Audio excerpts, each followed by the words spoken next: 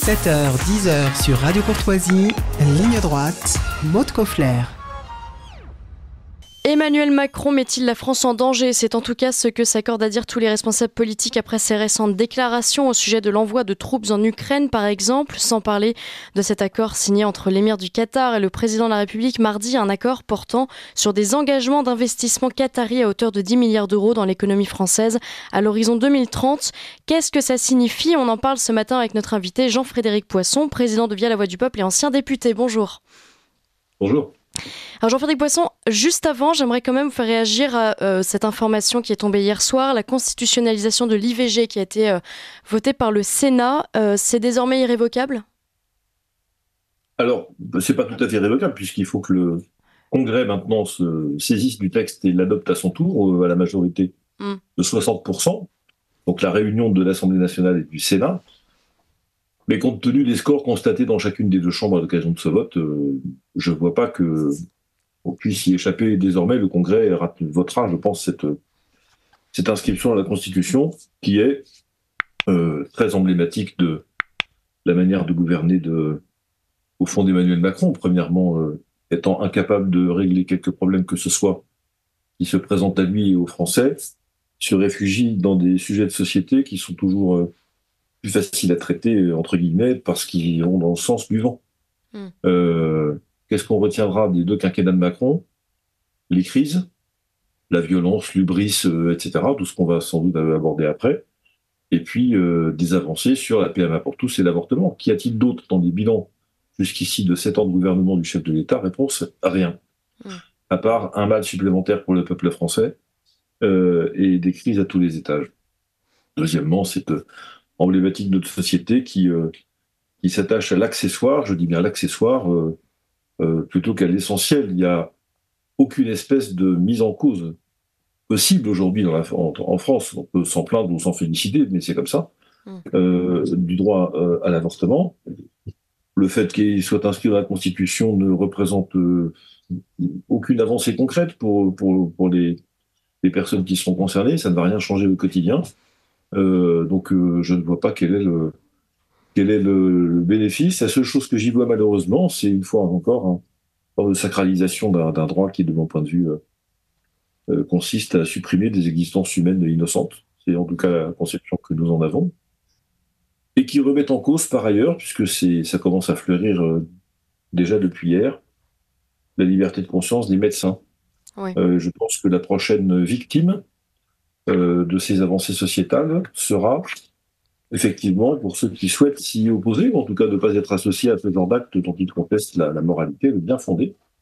Pour l'instant, ils ont le droit de ne pas les pratiquer et de s'y opposer. Demain matin, on, leur, euh, on les tiendra de le faire. Donc euh, voilà, pour toutes ces raisons, c'est très emblématique de notre temps, de sa d'incapacité des politiques à traiter les choses, euh, d'une espèce de dérèglement de l'esprit par rapport à la dignité humaine et d'atteinte aux libertés fondamentales. C'est une belle synthèse au fond.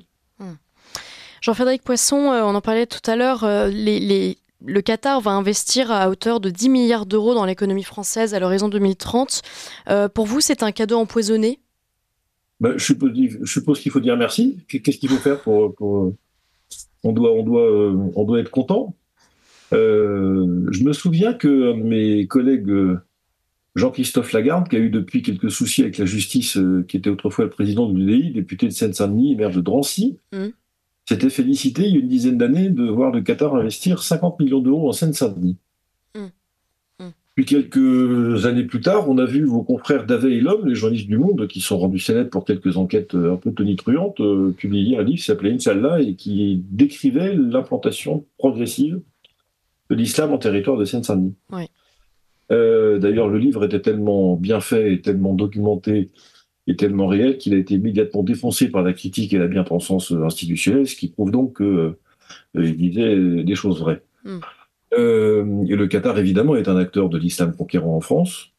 Le Qatar est un soutien actif, sinon le soutien le plus actif des frères musulmans euh, partout dans le monde, et donc y compris en France. Hmm. le Qatar est complice du Hamas.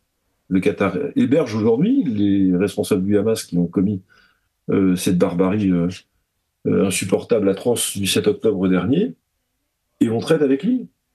Enfin, euh, que faut-il comprendre? Sinon il s'agit là d'une forme de, oui, je pense, de complicité. Euh, je, fais partie de ceux qui, pourtant, Dieu sait que j'apprécie le sport, j'en suis un spectateur euh, très attentif et, quasiment quotidien. mais très franchement, si la paix sociale en France et un peu de tranquillité doit se payer du prix euh, que euh, nous n'ayons pas de club de football de niveau européen parce qu'on ne trouve pas d'investisseurs étrangers, euh, hmm. nous allons payer ce prix, cher mm. Koffler. Je, S'il n'y a pas de PSG en France parce qu'il n'y a pas d'argent et personne ne veut mettre d'argent dedans, même pas les Qataris, bah, c'est pas grave, tant pis. Mais se, lier les mains avec un pays qui est ambigu, qu'on a soupçonné pendant un temps, et j'ai présidé une commission d'enquête sur les moyens de Daesh quand j'étais parlementaire il y a quelques années maintenant. Euh, tous les membres de la commission d'enquête étaient parfaitement persuadés du fait que le Qatar était un des financeurs de Daesh. On n'a jamais pu l'établir. Mais enfin, il y a beaucoup, beaucoup de choses qui ont circulé sur ce sujet. Donc, euh, euh, voilà, je ne vois pas pourquoi on fait des ponts d'or à ce pays et il y a de l'argent qu'il faut savoir ne pas accepter. Alors, n'est-ce qu'une question d'argent? Parce que certains y voient, enfin, voient en cette alliance une espèce une sorte d'atout diplomatique pour la France au, Moyen-Orient, pardon, notamment dans le cadre du conflit euh, israélo-palestinien, parce que moi, qu'on puisse dire, c'est que la France aujourd'hui n'a pas euh, beaucoup de poids diplomatique dans cette région. Euh, est-ce que vous, vous, arrivez quand même aussi à considérer peut-être cet atout ou vraiment, vraiment pas? Non, non, non, non. Je pense que D'abord, je ne sais pas si c'est un atout diplomatique de, comment dire, d'une certaine manière, de poser ses avions sur le porte-avions de quelqu'un d'autre. Euh, parce qu'il s'agit de ça. En réalité, euh, c'est, ce serait le, pardon, le Qatar, notre, notre tête chercheuse au Proche-Orient. Je ne sais pas si c'est le mieux choisi, parce que, euh, comment dire, c'est loin d'être un pays qui parle avec tout le monde. Il aurait mieux valu choisir les Émirats Arabes Unis, par exemple, pour, mm, mm. pour avoir ce rôle, éventuellement même les Saoudiens, pourquoi pas. Mais le Qatar, enfin, c'est un peu sulfureux sous beaucoup de rapports d'ailleurs. Euh, comment dire euh, Je ne suis pas certain que ce soit l'interlocuteur le mieux placé pour vous aider à reconquérir ça. Et puis, on, reconquiert de l'influence diplomatique en étant fidèle à sa parole, en étant fidèle à sa tradition, en aidant les gens qui sont euh, ses amis, et, en n'étant pas systématiquement aligné sur des puissances comme les États-Unis qui font n'importe quoi dans la région depuis hmm. une quarantaine d'années. Donc, non, non, je ne crois pas du tout à, ce bénéfice-là qui est un leurre et c'est de la paresse en réalité. Euh, je, te, je te donne un, je te donne, je te, je te laisse investir chez moi et en échange tu me rends service à l'étranger. Mais ça voudrait donc dire aussi que euh, euh, oui, c'est service contre service. Donc ça rend service au Qatar d'investir 10 milliards d'euros en échange de quoi? Mmh, oui, voilà. C'est au Proche-Orient. Ce qui si ça rend service au Qatar, cher Maud Kofler, ça ne nous rend pas service à nous. Il faut mmh. choisir. C'est pas, ça n'est pas compatible. Tout ça est un leurre. Alors l'autre actualité invraisemblable, c'est ce discours d'Emmanuel Macron au cours duquel il évoque l'envoi de troupes françaises sur le sol ukrainien, une supposition qui a fait réagir le Kremlin, bien sûr, avec une mise en garde à destination de l'Europe. Jean-Frédéric Poisson, ça ressemble à une déclaration intempestive et irréfléchie, mais on a du mal à imaginer que le président de la République ait pu lancer ça comme ça. Que faut-il en déduire, selon vous? Parce que c'est parce que vous êtes encore trop bien élevé, mademoiselle. euh, Peut-être. Il y, a, quand même, enfin, ce euh, Emmanuel Macron est capable de ce genre de, comment dire, de, je sais pas comment, comment appeler ça, euh, d'explosion, euh, de, mm. d'ébriété verbale, de, d'inconséquence, de légèreté, de négligence, de paresse. Enfin, il gouverne la France depuis sept ans comme ça. Il n'y a pas de raison que ça ne se retrouve pas un moment ou un autre sur, sur les aspects militaires et, et internationaux. Je pense. La thèse d'ailleurs circule depuis, depuis 48 heures. Euh, il aurait déclaré ça pour euh, détourner les regards du fiasco du salon d'agriculture de samedi dernier. Hmm. Pourquoi pas? Ça arrive un euh, peu tard, mais.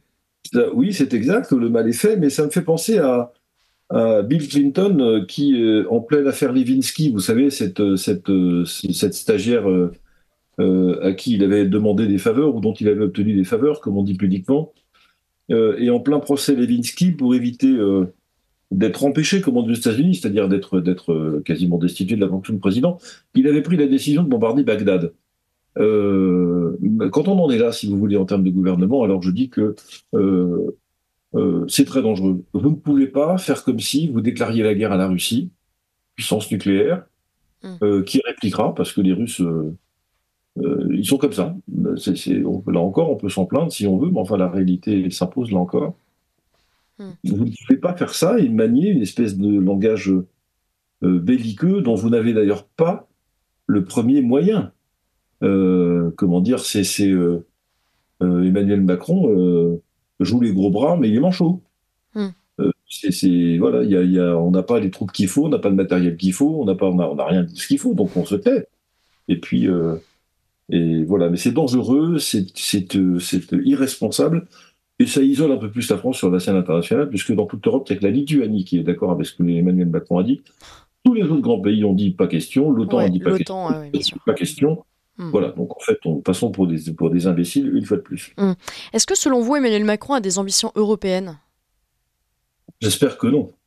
Euh, Parce que certains le suspectent, en fait, à force de se positionner comme ça euh, sur euh, toutes les politiques européennes, on finit par penser il disait, que c'est une façon. Il disait dans une interview il n'y a pas très longtemps Je me battrai jusqu'au dernier quart d'heure de mon mandat, ça va nous laisser un quart d'heure de répit en trois ans, c'est pas beaucoup. Hein. C'est-à-dire que, on, a encore trois ans de douleur et de souffrance devant nous. Qu'il ait des ambitions, oui, cet homme, est, cet homme n'a d'ambition que euh, que de lui, il est, il est, plein de lui. Donc c'est parce qu'il est plein de lui qu'il dit bêtise sur bêtise, qu'il n'apprend rien, que qu'il n'est perméable à rien. Et quand vous êtes trop plein de vous-même, vous savez, il n'y a plus de place pour rien d'autre. Donc, euh, donc euh, c'est vrai sur le plan intellectuel, comme sur le plan affectif, comme sur le plan moral, comme c'est vrai sous tout rapport. Mm. Et son problème à lui, c'est que c'est ça. Donc j'espère que non, parce que euh, Madame van der Leyen, d'ailleurs, avec le soutien du groupe ECR et le soutien de Madame Mélanie, va être reconduite à la tête de la commission euh, de Bruxelles. Vous avez entendu que Madame Mélanie euh, avait apporté son soutien à la reconduction du mandat de la présidente de la commission. Donc, écoutez, je, ne sais pas très bien. Hum. J'espère que nous allons parvenir à, affaiblir un peu cette Europe qui nous fait tant de mal. Et Emmanuel Macron ne fera qu'ajouter, euh, si jamais il exerçait des responsabilités européennes, ne fera qu'ajouter au mal qui nous frappe aujourd'hui. Jean-Frédéric Poisson, il nous reste une petite minute. Euh, vous serez tout à l'heure en déplacement au Salon de l'Agriculture avec Marion Maréchal. Vous avez suivi les événements qui ont marqué l'ouverture du salon. Vous avez entendu les mots de Gabriel Attal qui juge que le Salon de l'Agriculture n'est pas un cirque. Aujourd'hui, la majorité des, des agriculteurs que vous croiserez tout à l'heure ne savent plus vers qui se tourner et beaucoup accusent l'Europe de les avoir abandonnés, méprisés, parfois même assassinés. Que leur répondez-vous?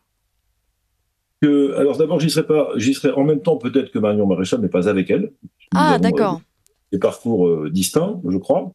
Hmm. je suis sûr même. Euh, je leur réponds que euh, je partage intégralement ce constat, premièrement. Que deuxièmement, nous sommes au soutien des, agriculteurs français comme nous le sommes enfin, depuis, depuis longtemps, même si ça n'est pas notre, nos, nos, principaux champs d'intervention, si j'ose dire. Hmm. Et que troisièmement, il va falloir que les agriculteurs se déterminent dans quelques semaines sur euh, des choix électoraux qui permettront d'infléchir cette tendance qu'ils décrivent très bien. Euh, je crois comprendre que leurs faveurs vont plutôt aujourd'hui à des listes, euh, que ce soit le Rassemblement national ou Renaissance, puisque majoritairement il s'agit de ce soutien-là. Je ne vois pas que le Rassemblement national ait fait des étincelles agricoles au Parlement européen depuis 40 ans, et par ailleurs Renaissance est à peu près l'artisan de ou le continuateur de tous leurs mots d'aujourd'hui. Donc euh, je dis aux agriculteurs qu'il y a des choses à faire au Parlement européen, ça c'est le 9 juin, mmh. euh, et que tant qu'il n'y aura pas de changement politique radical en France, je ne vois pas comment leur sort pourrait s'améliorer. Maintenant, je comprends leurs revendications, je comprends les logiques de filière, je comprends les, marges trop importantes de la grande distribution, je comprends les normes, tout ça sont des choses qui sont identifiées depuis longtemps. Et nous partageons intégralement l'analyse des agriculteurs, des mouvements euh, qu'ils soient des mouvements syndicaux d'ailleurs ou des, exploitants eux-mêmes euh, de manière euh, individuelle. Euh, voilà, analyse partagée mm. en parfaite harmonie avec eux et courage et merci parce que parce qu'ils font un métier tellement difficile, tellement peu considéré. et pour moi qui suis un qui a été pendant un quart de siècle un élu du sud des Yvelines, qui est l'une des parties rurales de l'île de France, je vois à peu près ce que c'est que la difficulté du monde agricole, même si dans les sud des Yvelines, l'agriculture va plutôt bien, permet plutôt aux exploitants et, euh, comment dire aux propriétaires agriculteurs de vivre correctement. Hmm. Merci beaucoup Jean-Frédéric Poisson. Je rappelle que vous êtes euh, président de Via la Voix du Peuple, ancien député. Je vous souhaite un très bon salon de l'agriculture et à très bientôt sur notre antenne.